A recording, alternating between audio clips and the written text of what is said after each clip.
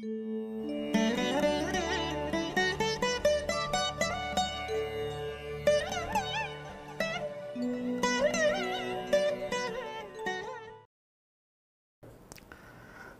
அனைவருக்கும் ஞாயிறு மதிய வாழ்த்துக்கள். எல்லோரும் நன்றாக இருப்பீர்கள்.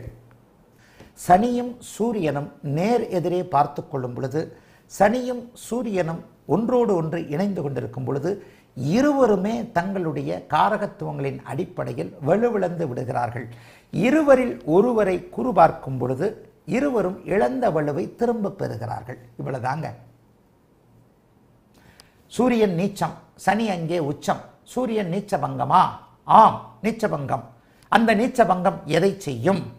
சூ அந்த லக்னத்திற்கு சூரியன் என்னவாக இருக்கிறாரோ அந்த ஆதிபத்தியங்களை வலுவாக தந்து சூரியனுடைய காரகத்துவங்களான ஆளுமை அரசு அனைத்து அமைப்புகளையும் கெடுக்கும். ஆனால் அப்படியும் அங்கே சூரியன் இப்படி சனி சேர்ந்தவர் ஒருவர் அதிகாரத்தில் இருக்கிறார். அந்த சூரியனை குறுபார்த்திருக்கிறார் அல்லது பாவகாதி பாவகம் என்கின்ற சிம்மம் மிகப்பெரிய அளவில் வலுத்திருக்கிறது.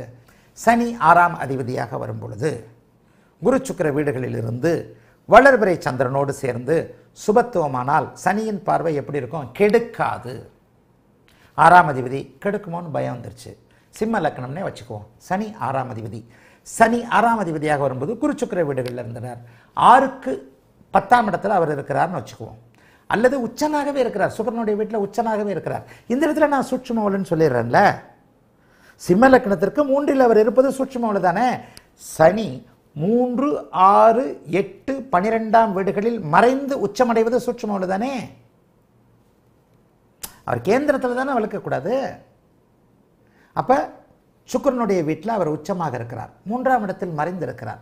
குருவின் பார்வையிலும் இருக்கிறார். மிதுனத்திலேயோ கும்பத்திலேயோ இருந்து இந்த உச்ச சனியை குரு பார்க்கும்போது இவருடைய சனி பார்வை கெடுப்பதே இல்லை. அதே நேரத்தில் இந்த உச்ச சனியோட கேது சேர்ந்திருந்தால் அந்த சனியின் பார்வை கொடுக்கிறத கவனிச்சிருக்கிறேன். அதாவது சனி ஆறாம் அதிபதியாக வருகிறார். சிம்ம லக்னத்திற்கு ஆறாம் அதிபதியாக வருகிறார். மூன்றாம் இடத்தில் அவர் உச்சத்தை அடைகிறார். சனி உச்சம் மறைவிடங்களில் அடைவு அரை அமைவது சுற்றுமவளு அங்கே அவர் கேதுவோடு இணைந்திருக்கிறார். இரட்டிப்பு சுற்றும நிலையை அடைகிறார். இந்த இடத்தில்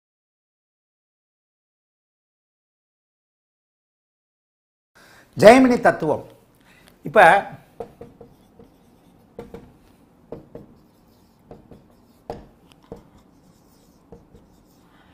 நான் சொன்ன விளக்கம்.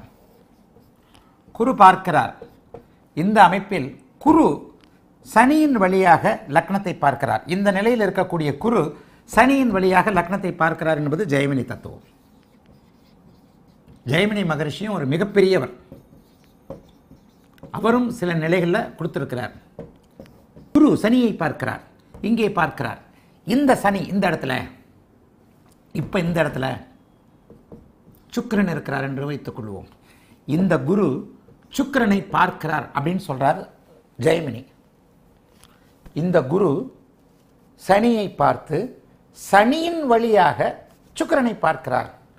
ஆக ஒன்று. அடுத்து ராகுவிற்கு மட்டுமே கிரகண தோஷம் என்று சொல்லுகிறேன். இந்த இடத்துல கிரகண தோஷம் இல்லை.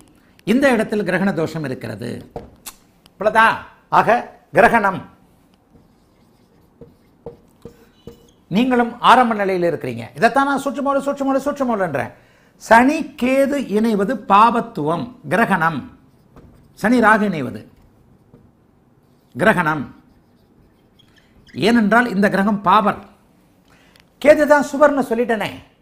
எவ்வளவு ஒரு வித்தியாசமான கருத்தை. ஆயிரக்கணக்கான ஆண்டுகளாக வழி வழியாக சொல்லப்பட்டிருக்கிறது ஒரு கருத்தை தைரியமாக ஆய்வுகளின் மூலமாக நிரூபிக்கிறேன். மெதுமெதுவாகத்தான் மாற்றம் வரும். என்னையா இருந்தாலும் திடீர்னு கேதுவை சுவர்னு சொல்லிட்டாரு? அப்புறம் அப்படியே உண்மை புரிய வரும்போது புரிய வரும்போது ஆஹா இதுவும் ஆமாம் உண்மைதான். சில நேரங்களில் இல்லை.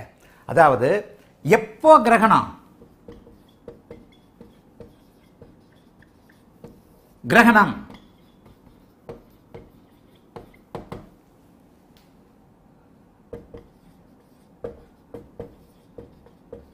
கிரகணம்.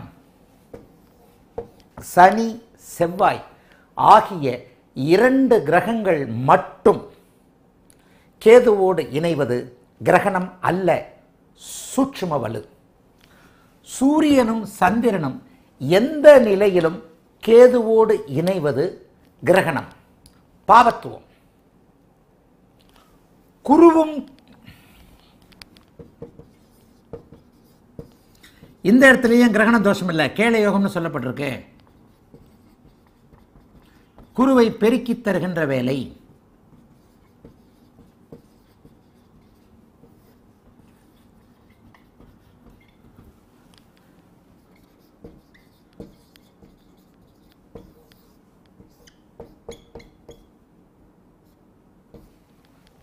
கேது.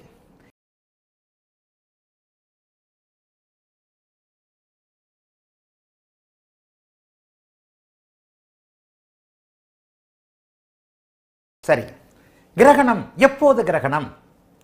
சனி ராகு செவ்வாய் ராகு. ராகுவோடு அவ்வளவு கிரகமும் கிரகணம். ராகுவோடு ஏழு கிரகமும் கிரகணம்.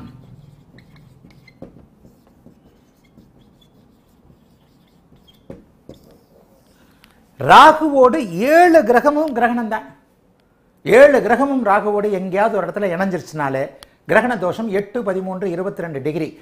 ராகுவோடு ஏழு கிரகமும் கிரகணம். சூரியன் கேது கிரகணம். இப்ப ராகுவோடு எந்த கிரகம் சேர்ந்தாலும் கிரகணம்னு ஒரே வார்த்தையில் முடிச்சிட்டேன். கேது சூரியனோடு கேது சேர்ந்தால் கிரகணம். சந்திரனோடு கேது சேர்ந்தால் கிரகணம். சுக்கிரனோடு சேர்ந்தால் கேது சேர்ந்தால் சுக்கிரனை வளர்க்கின்ற யோகம். குருவோடு கேது சேர்ந்தால் குருவை வளர்க்கின்ற சொகுசை வளர்க்கின்ற பணத்தை வளர்க்கின்ற கேளை யோகம் இதுவும் ஒரு நல்ல யோகம். இங்கே புதனை மட்டும் நான் வந்து ப்ளஸ் மைனஸோட போடுவேன். இங்கே புதன் பாவராக இருந்தால் மைனஸ் தனித்த புதனாக அவர் சுபரவனோடு சேர்ந்திருக்கும் போது இந்த கேது அவனுடைய அறிவை விருத்தி செய்து ஆய்வு செய் ஆய்வாளியாக விஞ்ஞானியாக மாற்றுகிறார்.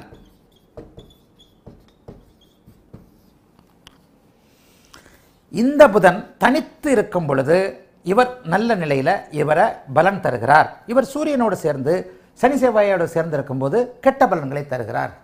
அப்போ சனி கேது சேரும்போது இது வந்து கிரகண தோஷம் இல்லை. இந்த சனியும் செவ்வாயும் தனித்தனியாக கேதுவுடன் இணைந்திருக்கும் பொழுது அதுவை நான் சூட்சுமல்னு சொல்கிறேன் சரி இப்போது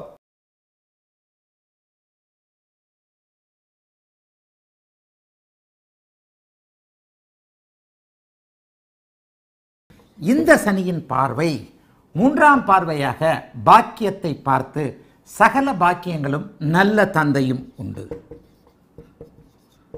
ஆனால் இது சூரியன் நிபந்த சூரியனுடைய நிலையை பொறுத்து உறுதி செய்து கொள்ள வேண்டும். பத்தாம் பார்வையாக நான்காம் இடத்தை பார்த்து சொகுசு வீடுகள் சொகுசு வாகனங்கள் நல்ல தாய் உண்டு. புதனின் நிலைமையை தாய்க்காக பார்த்து கொள்ள வேண்டும்.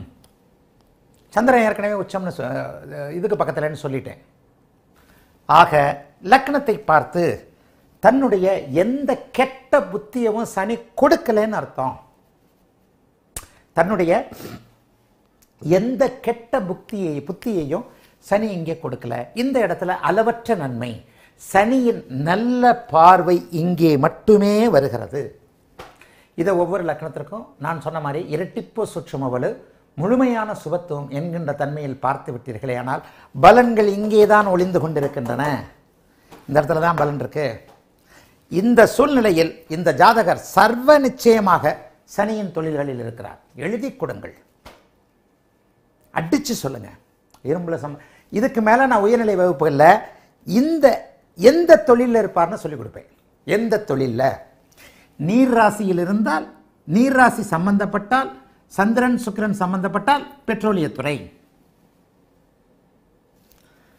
நிலராசி என்று சொல்லப்படக்கூடிய நிலத்தின் அடிப்படையில் எங்கே எப்படி அமைகிறது?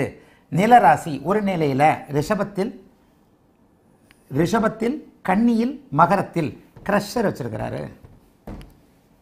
பத்தாம் இடம் ரெண்டாம் இடம் இந்த நிலராசியோடு தொடர்பு கொண்டிருந்தால் கிரஷரில் சம்பாதிக்கிறார் மண்ணில் சம்பாதிக்கிறார் கல்லில் சம்பாதிக்கிறார். நீர் ராசிகள் வலுத்தால் மீனம் விருச்சிகம் கடகம். பெட்ரோலில் சம்பாதிக்கிறார் சரக்கில் சம்பாதிக்கிறார் குடியில் சம்பாதிக்கிறார்.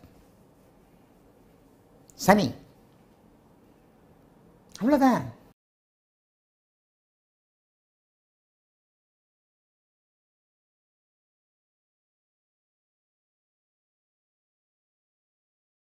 மகர லக்கணமாக மேஷ லக்கணமாக சொன்னேன். இங்கே சனி வந்து தனுசு லக்னத்துக்கு ரெண்டாம் இடத்துல வக்கரம்னு வச்சுக்கலாம். தனுசு லக்னத்துக்கு ரெண்டாம் இடத்துல வக்கரம் அப்போ அதே வந்து மீன லக்கணத்துக்கு பதினொன்றாம் இடத்துல வக்கரமாக வருவார். அப்படியே கும்பத்தில் போட்டோம்னா மேஷத்துக்கும் மேஷத்துக்கும் மகரத்துக்கும் வருவார். மேஷத்துக்கும் மகரத்துக்கும் சொல்லிட்டேன். சனி மறையாமலும் கேந்திர கோணங்களில் ஆட்சி ஆகி வக்கரமானால் அது சூட்சும உருவாக்குறது இல்லைம்மா கண்டிப்பாக கிடையாது. இந்த இடத்துல இருக்கிற சனி கெடுப்பாருமா. சனி வக்கரமாக இந்த இடத்துல இருக்கிற சனி பதினொன்றாம் இடத்தில் மட்டும் நன்மை. ஏன்னா இயல்பான அமைப்பில் பாவர்கள் பதினொன்றாம் இடத்துல கெடுக்கிறதில்ல. தன வீட்டை கெடுப்பார். இருக்கின்ற இடத்துல இருக்கக்கூடிய அத்தனை சனியும் சுபத்துவமாக இருந்தால் மட்டுமே கெடுக்க மாட்டார். வக்கரமாக இருந்தால் என்ன ரெண்டாம் இடத்துல லேட் மேரேஜை பண்ணுவார் குடும்ப அமைப்புகளில் குழப்பத்தை உண்டு பண்ணுவார். ஏழாம் இடத்தின் பலங்களை பார்த்து விட்டு ஏழாம் இடத்தின் அமைப்பையும் சுக்கிரனையும் கணித்து விட்டு ரெண்டாம் வீடு அப்படின்றத கவனிக்கணும். சரியா? சரி. கும்ப லக்கணம். சரி.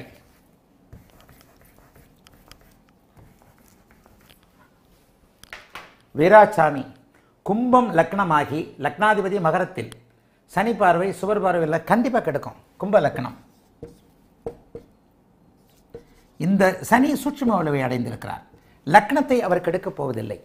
இந்த லக்னத்தில் கும்ப லக்னத்திற்கு சனி பன்னெண்டாம் இடத்தில் இருக்கிறார். இது வந்து சூட்சும வலுவை மட்டும் அடைந்திருக்கிறார். இங்கே சுபத்துவமாக அவர் இல்லை. ஒரு நிலையில கேதுவோடு இணைந்திருந்தால் கூடுதல் சுபத்து சூட்சும வலுவை அடைஞ்சிருக்கிறார். இந்த சனி கேதுவோடு இணையாமல் இருக்கக்கூடிய நிலைமையில் கேதுவோடு இணையாமல் இருக்கக்கூடிய நிலைமையில் கெடுப்பார்.